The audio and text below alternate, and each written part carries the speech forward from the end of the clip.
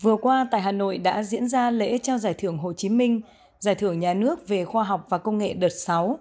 Chủ tịch nước Nguyễn Xuân Phúc dự và trao giải cho đại diện tác giả các công trình, cụm công trình. Tập đoàn Dầu khí Việt Nam Petro Việt Nam vinh dự có 3 công trình được trao tặng giải thưởng Hồ Chí Minh và 3 công trình được trao tặng giải thưởng nhà nước về khoa học và công nghệ. Trong 6 công trình được giải thưởng của Petro Việt Nam lần này, phải kể đến 3 công trình tiêu biểu đã xuất sắc đạt giải thưởng Hồ Chí Minh – đó là cụm công trình nghiên cứu phát triển công nghệ để khai thác các mỏ khí, condensate với điều kiện đặc biệt phức tạp thềm lục địa Việt Nam của tiến sĩ Ngô Hữu Hải và 27 đồng tác giả. Hai là cụm công trình hệ thống trạm đo Carota tổng hợp sách tay TBM02 và bộ quy trình minh giải tài liệu địa vật lý Loginter 2.0 của kỹ sư Nguyễn Xuân Quang và 10 đồng tác giả.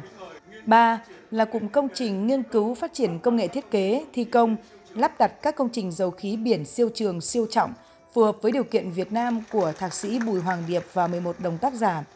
Những công trình, cụm công trình nhận giải thưởng lần này đã lần nữa khẳng định trí tuệ bản lĩnh của những người đi tìm lửa, đồng thời là niềm vui, niềm vinh dự và tự hào của tập thể những nhà khoa học dầu khí nói riêng và của tập thể cán bộ người lao động dầu khí nói chung – hòa trong không khí hân hoan chào mừng kỷ niệm 61 năm ngày truyền thống ngành dầu khí Việt Nam, 27 tháng 11 năm 1961, 27 tháng 11 năm 2022.